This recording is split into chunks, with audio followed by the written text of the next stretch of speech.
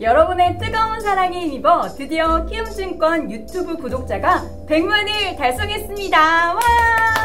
여러분의 뜨거운 사랑에 앞으로는 저희가 보답하도록 할게요. 앞으로도 키움증권 많이 사랑해주세요. 전문가님 어서 오세요. 네, 안녕하세요. 예. 우리 전문가님 뭐 눈이 크신 편은 아닌데 네. 스튜디오에서 우웅하니까 너무 놀라는 표정 때문에 무슨 뭐 공습이 있나 지금? 네. 저는 지금 어, 그래서 이제 좀 어, 조절을 해달라고 좀 말씀을 드렸는데요. 음, 앞서서 제가 말씀을 드렸는데 달라진 게 없어. 그리고 출연하는- 길을 길을 여러 가지 이렇게 막 보- 보여주시고 아 여기에 어떤 변화가 있을 것 같아요. 중심이 이쪽으로 옮겼어. 그럼 또 다시 출연하는 이유를 모르겠어요. 여기 왜 기, 기름까지 다 써갖고 주차비까지 내면서 여기까지 내가 오는지. 왜 출연한 출연하는 왜 출연하는지 저는 모르겠어요. 100% 있거든요. 아니, 난왜 여기 내가 지금 오는지를 거의 한, 한 2, 3주는 내가 왜 오지, 여기? 아, 어, 변한 게 없어서 시장이? 그냥 전화로 그냥 변한 거 없습니다. 지난주 거 다시 들으세요.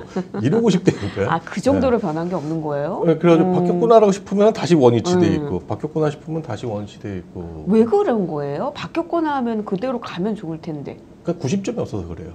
수급의 구심점도 없고 네. 시장의 주도주 구심점도 없어요. 네, 그나마 다 어, 지난주부터 조금 시장의 구심점이 좀 나왔다라고 저는 나름대로 판단을 좀 하고 있는데 네. 이게 또 연속성에 대한 부분을 보여주긴 했어요. 음. 근데 그 구심점이 계속 이어질지는 좀 더 두고 봐야 되지 않나 이런 생각이 좀 음, 들어요. 그러니까 사실은 반도체라든가 이쪽으로 조금 코스닥 쪽으로 매기가 있을 거라고 생각했는데 있기는 있었거든요. 음, 근데 저는 있었어요. 사실 반도체 네. 소재 장비주 쪽에 대한 부분을 일부 강한 종목들만 네, 하시라고 네, 네, 네. 얘기를 드렸었는데 사실 제가 공략했던 건 테스였거든요.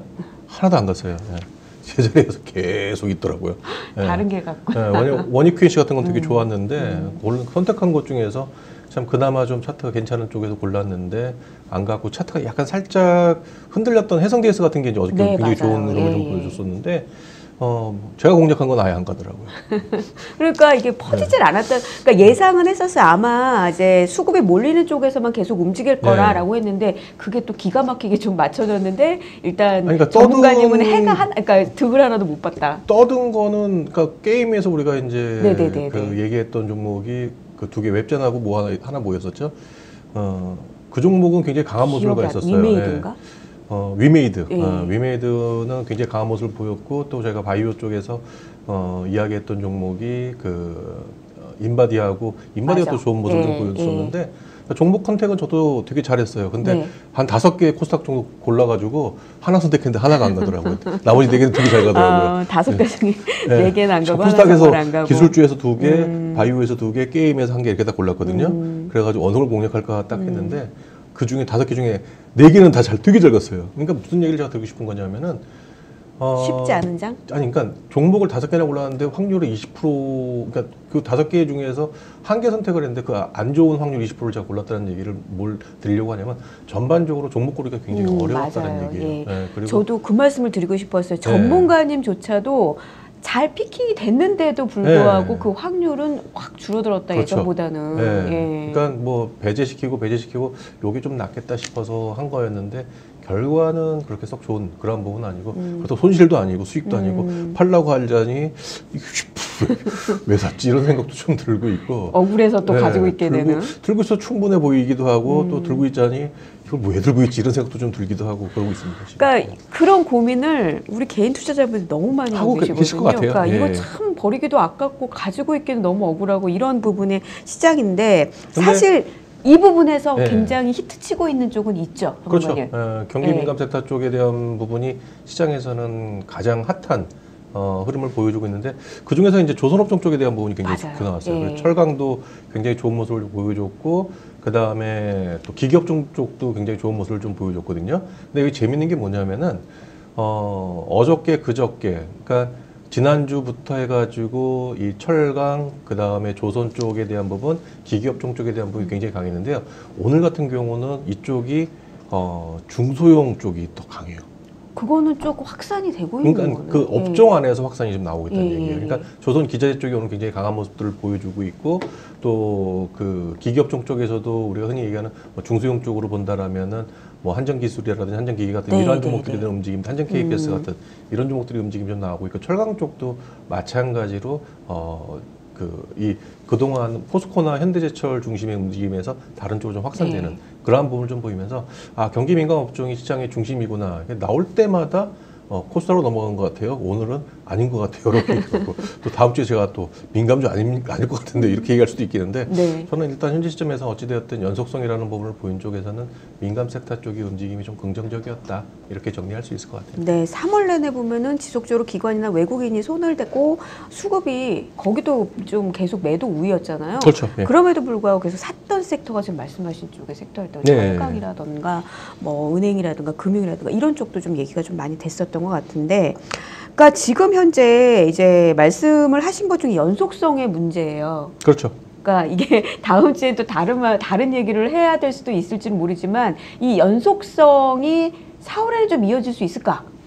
이런 부분에 대한 고민해야 돼. 그러면 지금 현재 강한 민감주 쪽으로 조금 더 우리는 기대를 해볼 수는 있잖아요. 그렇죠. 그러니까 저 같은 네. 경우도 지금 경기 민감주 쪽에 대한 접근 포인트를 어, 기술적인 트레이딩도 잡아드리고 있는 그런 상황인데 어, 그 지금 시장의 특징을 먼저 좀 체크를 해봐야 돼요. 그러니까 현재 시장의 특징이 뭐냐면 외국인들이 그 선물 매매에 의해서 시장이 계속적으로 좌지우지되고 있다고 하는데 지금도 계속 그래요. 딱 보니까 오늘 예, 똑같아요. 똑같이 가요. 예. 예, 일단 2주 연속 지금 외국인들의 선물 동향에 의해서 좌지우지되고 있는 그런 시장 흐름을 보, 여주고 있는 상황이고 결국은 그 이러한 외국인들에 의한 변동성 장세는 당분간 어쩔 수 없지 않을까 이런 생각이 좀 들어요. 그러니까 수급이 들어와 준다라면은 괜찮지 않을까라는 생각이 좀 들지만 수급이 뒤를 받치지 않는 상황에서는 이런 변동성 장세를 어느 정도 인정하고 봐야 되지 않을까 이런 생각이 좀 들고 있고 4월 초에는 일단 4월 7일 날 삼성전자 실적 발표가 예정이 돼 있는데 요 4월 한 중순까지는 기업들의 실적에 대한 부분에 좀 초점이 좀 맞춰질 가능성이 높아요. 그렇다면 4월 중순까지는 별다른 이슈가 없이 시장 자체는 그 어떻게 보면은 외국인들의 선물 동향에 의해서 움직일 가능성이 상당히 높지 않겠느냐. 그러면 연속성에 대한 부분이 나오는 섹터가 현재 눈에 들어오는 부분은 어찌되었든 어, 금융이라든지 또 철강이라든지 조선이라든지 또 어, 보험이라든지 음. 이런 쪽에 대한 부분이 많이 보여주고 있기 때문에요.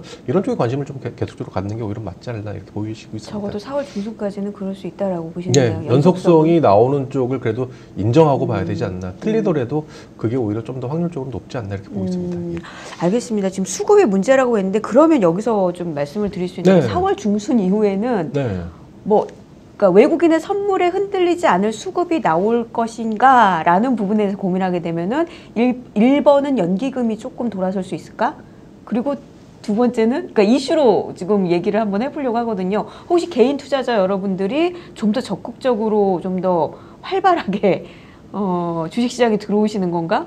지난주 금요일 날 저도 예. 연기금이 맞아요, 맞아요. 회의한다라고 그래가지고 계속 뉴스를 기다렸어요. 점심이 지나더라고요. 점심이 지났는데도 안 오길래 아, 이것들이 밥 먹, 지난번 금융위처럼 밥 밥 먹으려고? 모였나 씨 이런 생각이 음. 들었는데 거의 저녁 때쯤에 나오고 그래서 네. 밥 저녁밥까지 먹고서는 회의를 하나 어, 어떤 결론을 내나 이랬다면은 결론은 어, 선거를 앞둔 상황에서 뒤로 미루는 그러한 결론을 내, 버렸단 말이에요. 음. 그러니까 20%로 확대하는 부분이 아니고, 근데 굳이 거기에서 그런 부분을 전략을 그 어, 이해하겠다는 부분을 봤을 때에는 과연 선거 끝나고 나서 할까 안 할까 할까 이거 좀- 하는 고민이 저는 사실 아 이거 안 하려고 하나 보다 이런 생각이 음. 딱 드는 거예요. 근데 음. 사실 연기금이 주식 비중을 늘려도 욕 먹어요.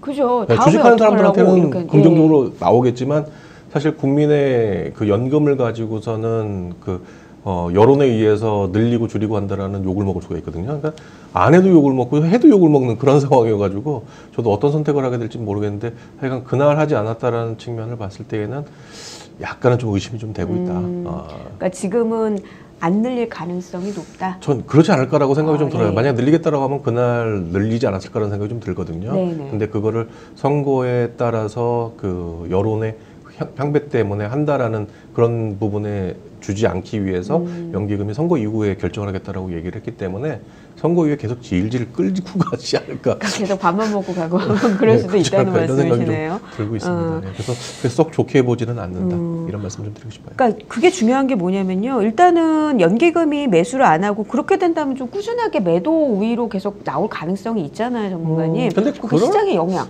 근데 일단은 네. 현재 시점에서는 그 외국인들이 현재 그러니까 기- 연기금의 매매 동향을 보면은 예전처럼 그 공격적인 매도는 아니에요. 그렇긴 해요. 예, 예. 그러니까 부분 좀더 추이를 좀 살펴봐야 되지 않을까라고 보여지는데 개인적으로 지금 연기금의 스탠스 움직임이나 이런 부분 전반적으로 봤을 때에는 어, 그 전과는 조금 규모 자체가 좀 작아졌다는 측면에서는 어, 그렇게 좀 우려스러운 매도의 흐름은 아니지 않을까 이렇게 보고는 있습니다. 네. 그러나 좀 더 뭐 개인적으로 저도 바람은 20%대까지 좀 늘렸으면 하는 그런 바람은 음, 있습니다. 예. 네.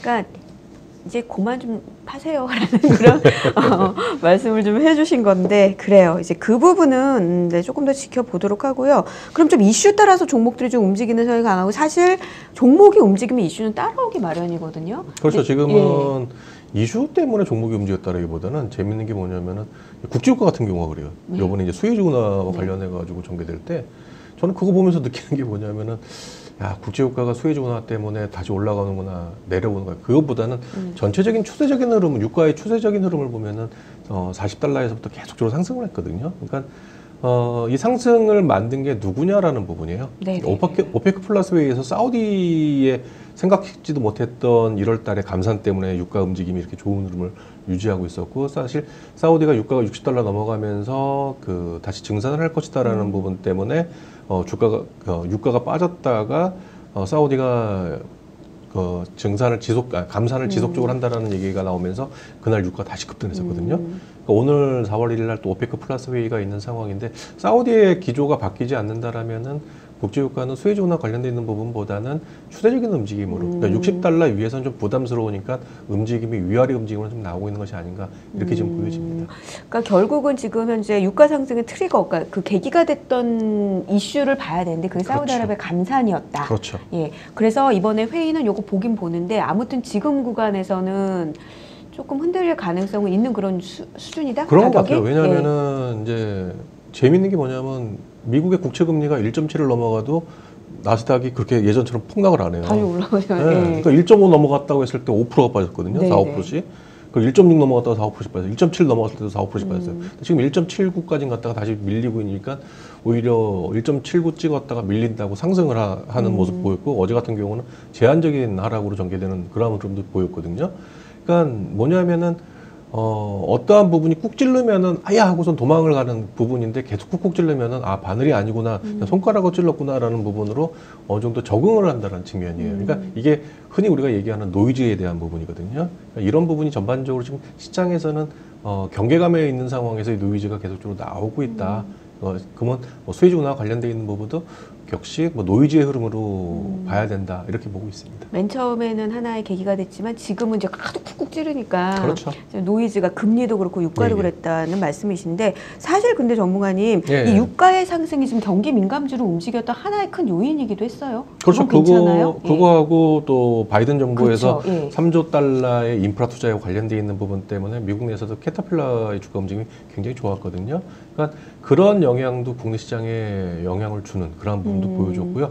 또 중국의 수출량이 생각보다 좋았어요. 맞아요. 아, 그래서 여러 개였구나. 그렇죠. 예, 예. 그런 영향 때문에 어, 민감어종 쪽에 대한 부분 자체가 긍정적으로 작용하는 그러한 부분도 진행이 되었다. 음. 결국은 경기 회복에 시장에 그 초점이 좀 맞춰졌고 경기 어, 흐름 자체가 글로벌 경기 전체적으로 흐름 자체가 어, 회복 쪽에 포커스를 맞춰주고 있기 때문에 긍정적인 부분을 보여주고 있다. 그러니까 음. 코로나19가 지금 다시 유럽존에서 확산이 나올 것이다라고 예, 그, 어, 예상이 좀 되고 있지만 음. 그럼에도 불구하고 독일의 경제 지표가 나쁘지 않았거든요. 음. 그러니까 그런 부분을 봤을 때는 경기 회복 쪽에 조금 더 초점이 좀 맞춰지고 있는 부분. 그러면 조금 전에도 우리가 이제 뭐 유가도 얘기하고 금리도 얘기하고 어, 또 방금 코로나19도 얘기했지만 이 부분은 다 노이즈가 될 가능성이 상당히 높지 않을까. 그러니까 음. 이슈가 불거져서 그 노이즈에서 흔들릴 수는 있겠지만 시장에 대한 흐름 자체는 큰 방향을 이렇게 바꿀 그 계제는 아니다. 아니다. 예, 아. 다른 악재가 나와야지 시장에 대한 음. 방향 자체가 좀 바뀌지 않을까 이렇게 보여주는 문제는 뭐냐면 이 세계가 짬뽕이 될 때. 그쵸. 예, 그러니까 이그 세계 이런 세계 그렇죠. 때, 예. 이게 이제 항상 제가 얘기하지만 노이즈가 하나 둘 세 개, 아 저건 노이즈다, 저건 노이즈다, 저건 노이즈다 하는데 이게 뭉쳐져 버리면은 그게 굉장히 큰 악재가 되는 상황이 많거든요. 음. 그러니까 그런 부분만 좀 조심하고 경계를 해야 되지 않나 보여집니다. 그러니까 항상 그러잖아요. 악재는 혼자 오지 않는다 고. 그렇죠. 한꺼번에 온다고. 예. 만약 그렇게 됐을 때는 경계라는 그, 그 정도는 지금 아닌 그런 상황이다. 그렇죠. 그러니까 큰 흐름은 지금 바뀌지 않았다라고 말씀하셨는데 근데 사실 저는 하나 좀 바뀌었으면 하는 게 있어요. 예. 뭔가님. 뭐야 우리 박스코 좀, 좀 탈출 좀 했었으면 좋겠는데 네.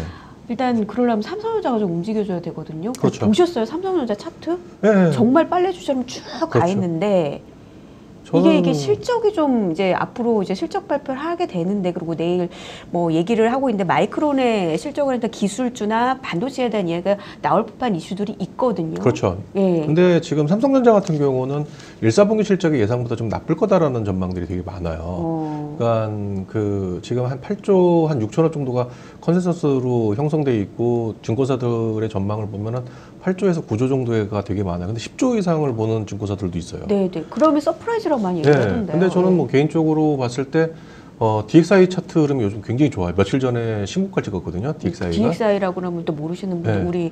우리를 위해서 달러 지수 말씀하시는 아니 거예요? 아니 달러가 아니라 아니, 저기 그 뭐지? 반도체 반도체, 지- 예, 반도체하고 DX, 예. LCD하고 다 합쳐진 IT 네. 쪽 네. 그 SSD까지 다 포함되어 있는 거를 차트화 시킨 음. 부분이거든요. 그래서 드림스 체인지 가면은 그 DXI 차트를 볼 수 있는데 그게 우상향으로 가게 될 경우에는 반도체 경기가 굉장히 좋다라는 부분이거든요. 근데 그게 얼마 전에 신고가 갔다가 지금 몇, 어, 한 2, 3일 정도 그 살짝 조정 들어오고 있는 네. 상황인데 그 부분하고 또 예상했을 때, 그러니까 2월 달에 예상했을 때하고 3월 달에 현재 환율에 대한 부분 움직임을 봤을 때에는 저는 삼성전자 실적이 생각, 예상보다 좀 높지 않을까라는 생각을 하고 있거든요. 그러니까 그전에는 환율이 1100원 아래로 전개가 됐던 부분이었고 지금은 1130원대에서 움직임을 보이면서 네. 원화 약세와 관련돼 있는 부분에 대해서 어느 정도 또 영향을 받을 수 있는 그런 부분이 있다.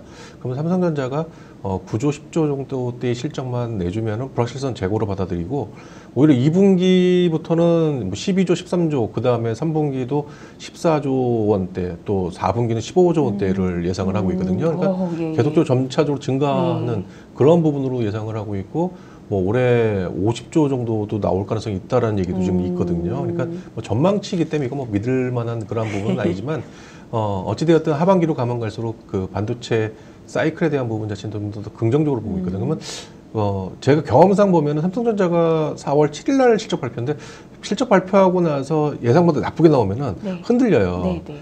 그러면 흔들리고 나서 그날 그 들고 올라타면은 오히려 그게 모멘텀이 되는 경우가 되게 많더라고요. 그러니까 불확실성 재고로 받아들이면서 움직이는 경우도 많기 때문에 그런 것도 한번 투자하시면서 매매하시면서 한번 관심을 좀 갖고 보셔도 되지 않을까 이렇게 보여집니다. 네. 그러니까 이게 좀 문제예요. 삼성전자가 움직이면서 다른 종목들이 그러니까 박스권에 계속 지수가 있, 있어야 되는 그런 부분들이 있다면 그러니까 네. 뭐 당위성 이런 건 없지만 어쨌든 그럼 지수가 갇힌 관계에서 삼성전자가 움직이면 다른 종목 다 죽잖아요. 그러면은 그렇게 될 그렇진 것이냐. 않아요. 예. 예. 왜냐하면 삼성전자하고 SK하이닉스가 치고 나가면 더 재미없는 시장 나올 거예요. 그러니까 오히려. 다른 종목들이 이제 가만히 아, 있어야 되는 상황이잖아요. 아, 제가 그게 예, 말씀하신 예, 건가요? 예. 예. 그러니까 저는 오히려 삼성전자 SK하이닉스가 움직이기 시작하면은 정말 재미없는 시장 나올 거예요. 지수만 올라가고 어, 나만 소외되는 음. 그런 형태의 흐름이 나올 수도 있다라고 보고 있는데 어 근데 그럼에도 불구하고 이번 2월달, 3월달에 낙폭과대 종목들이 꽤 많았어요. 맞아요. 예, 예. 그러니까 그런 부분도 있어가지고 어, 만약에 지수적인 부분을 도움을 좀 주는 형태로 전개된다라면은 어, 소외받는 종목들에 대한 부분 자체가 낙폭과대 종목들이 어느 정도 리바운딩에 대한 부분이 어, 어, 편승해서 움직일 가능성도 있지 음. 않을까 이런 생각을 좀 가지고 있습니다. 그래서 오히려 삼성전자, SK하이닉스 움직임이 좋아진다라면은 긍정적으로. 어, 예. 낙폭과대 종 그러니까 낙폭과대 종목들이 어저께 그저께 요즘 최근에 다 상승을 하기 시작했어요. 네, 네. 그러니까 그런 부분을 봤을 때에는 낙폭과대 종목들이 좀더 더 상승할 수 있는 여력을 만들어주지 않을까 음. 이렇게 보고는 있습니다. 그러니까 결국은 지금 이제 전문가님의 뉘앙스를 보게 되면 정말 삼성전자 오래 쉬었잖아요. 또 빠지지도 않고 오르지도 않고 8만 원대 한 8만 1천 원, 2천 원 부분에서 오르면 내리고 내리면 그렇죠. 오르고 이런 흐름들이 나타났는데 실적에 대해서 좀 기대를 하시는 것 같아요. 저요? 네. 살짝 기대는 하는데 그렇다고 뭐 삼성전자를 사겠다는 얘기는 아닙니다. 그런 건 아니고 살짝 네, 기대를 SK하이닉스도 안 사요. 예. 시장의 변화가 좀 여기서 그렇죠. 좀 나타날 수 있지 체킹을 할수 않을까. 있는 아. 기준점에 대한 부분이거든요. 음. 그러니까 그 기준점을 체크하려고 하는 부분이지.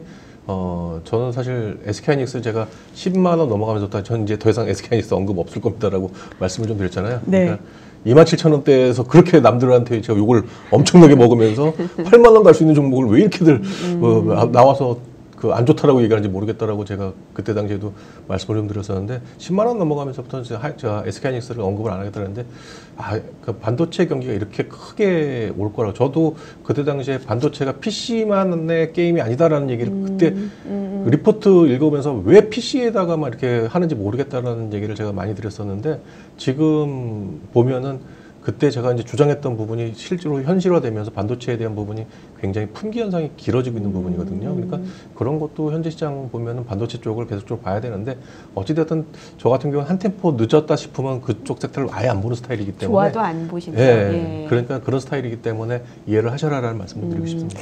알겠습니다. 이 삼성전자의 실적 발표가 또 변화의 계기를 만들 수 있는지 이것도 한번 짚어봐야 될 것 같아요. 다음 주에도 한 번 더 말씀, 그러니까 하실 기회가 있을 것 같아요. 네. 예, 그때는 조금 더 구체적으로도 얘기도 해보도록 하겠습니다.